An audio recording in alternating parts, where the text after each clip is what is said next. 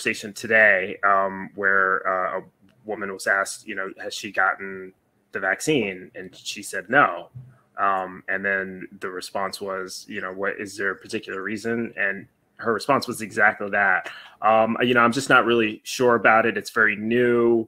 Um, you know, I, I, want them to do more testing before I, I, you know, do it. And and she was black, and I know that she was coming from a place because I've heard this many times before, where in in our community there mm. is suspicion about you know having vaccinations being done on you with especially with if you don't have a lot of information about it um, a lot of people know that there were experiments done on black people back in the day to make them yeah. sterile or to that had all kinds of adverse effects and i i hear that continuously coming up so what are your thoughts about that yeah I, I, see people referencing and it's the tuskegee syphilis experiments that, that's the, the easiest one mm-hmm. and I like to point out that, yeah, that was something that was carried out, um, you know, with the assistance of certain governments, uh, gov- government uh, local governments, I should say, and the um, uh, what's up in Maryland?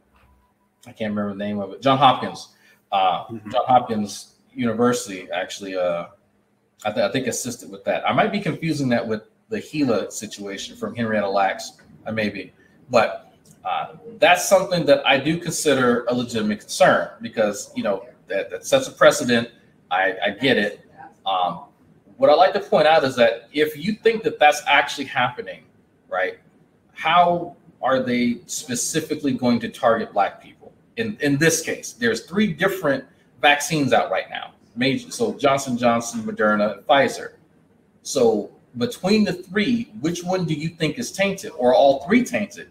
If that's the case, then how are they specifically finding black people to infect? Because if in, at, for the Tuskegee syphilis experiment, there was one provider. There was, you know, well, no cocktail in this case, but just you know placebo. Uh, so the aspects of this whole thing are way different. Mm-hmm. And when you actually talk to people about how this conspiracy they think is happening actually works, they don't know. They're just they'll they'll use that as a reference, but they can't actually tell you how this thing is being done. Uh, so I said, okay, fine. But if if you don't have an alternative and you're just fear mongering, then you're not protecting yourself because the virus is already shown to be very, very detrimental to people of color, especially black folks. And that right. has a lot to do with comorbidities. People with COPD, people who are overweight are, are prime candidates for getting really up by this thing.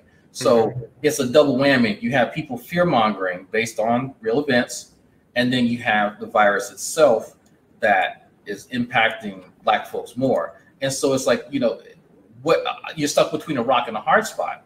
And I don't have any any quick solutions uh, for this other than to try and educate people, even my own family members, because yeah. I mean, I mean, that's usually my response as well. I usually just go straight to the fact that we know that this is a deadly disease, and statistically, if you're black, you're less likely to survive it. You know, for yeah. for all of the reasons you just mentioned, the comorbidity issues, uh, lack of access to good health care, um, for a number of reasons, black people statistically have a higher, if, if I'm remembering the statistic correctly, and I'll, I'll ask people to double check that, don't quote me, but it seems that black people have a higher uh, death rate uh, for COVID than the the broader demographics, and so that's that alone would be cause to for me, you know, that that would be reason enough to take a chance with even if you thought that you know, if you had suspicions, these conspiracy theories, uh, you know, if you get it, you know, you could die from it it just um, and that's really kind of the best argument that i can come up with but i, I do want to ask about the persistence of this virus and just kind of get your opinion. Is covid here to stay? Are we ever going to like eradicate it? Are the uh, is getting vaccinated going to cure it or is this something are we just going to have to keep is it here to stay basically is I, I want to know. I think it's, it's kind of going to going to become you know our new flu uh, you know, yeah. the flu too let you boogaloo essentially, uh, because it's if it was going to go, it would have left by now. Uh, I, I, think that we've we've been through an entire year of it, and it's still here. It'll it's keep evolving, won't it? Like mutating yeah. into new strains and. Oh, absolutely, absolutely. And, then we've already we've predicted that something like this was going to happen. But you, have you have heard people talk about a super flu? Have you heard people mm-hmm. talk about or mention super flu? I've so, heard.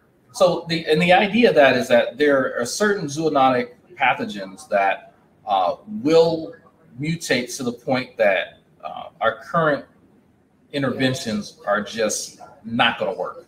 Uh, it's just a natural course of things.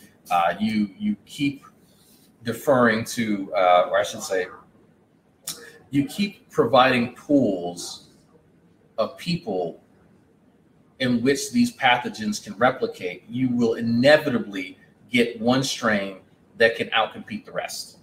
Uh, and it's just evolution. That's how evolution works. The one that survives is allowed to proliferate. Well, surviving in this case means circumventing the interventions, the vaccines, uh, antibiotics for the bacterial uh, uh based pathogens.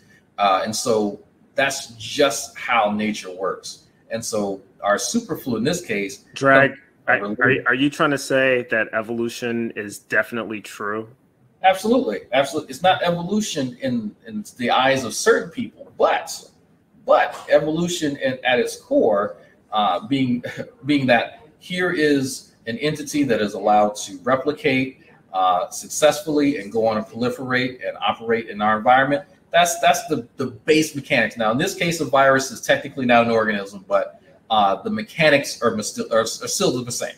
Are still the same. The mm-hmm. same things uh, involved. Because I know you wanted to get into uh, evolution and talk a little bit about young Earth creationists. My one of my favorite topics, as a matter of fact. yeah, I was going to touch on that a little bit, and I just to kind of get your uh, perspective on how do you deal with evolution denial? I mean, clearly there's plenty of evidence in science. And one of the things that I often hear from young Earth creationists or even old Earth creationists, because not every old Earth creationist accepts evolution either. Some of them do and some of them don't. But the, the most common objection I hear is that, oh, well, that's just microevolution. That's different from macroevolution.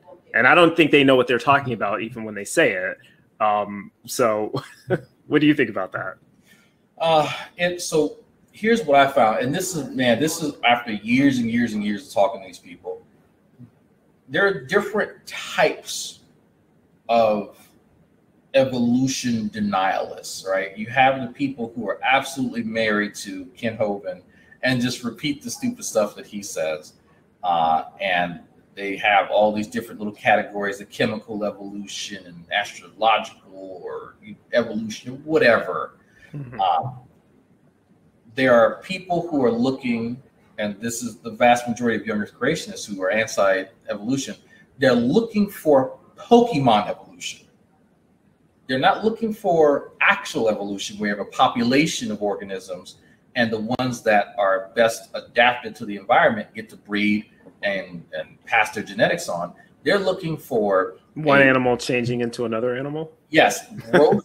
and I call when I, when I say gross anatomical change, hmm. that's what they're looking for.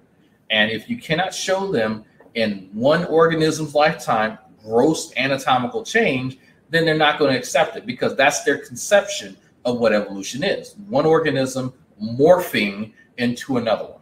It's such a straw man argument, though. Why do they think that that's what evolution is? Is that something that religion teaches people that evolution is when they're trying to destroy it, or well, not necessarily religion, but I think certain religious people, like uh, like Kent Hovind, uh, what's the other guy's name? Uh, Ken Ham is an Ken Ham's a good one. Yeah. So uh, they they frame evolution because they're teachers, obviously. Uh, they frame evolution that's a scary thought.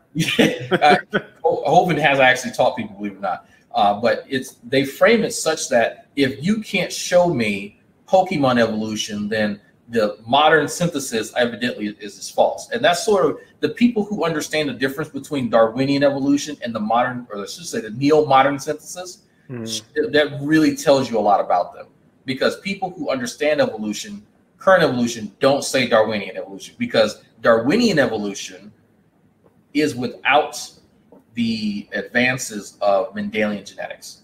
And you can't discuss evolution without genetics. Like they, they go hand in hand. Uh, so that, by the way, for people who are wanting to get into these discussions and debates with theists, if they refer to it as Darwinian evolution, that should you should pick up on that instantly that they are like at least 150 years behind the times and they don't know what they're talking about.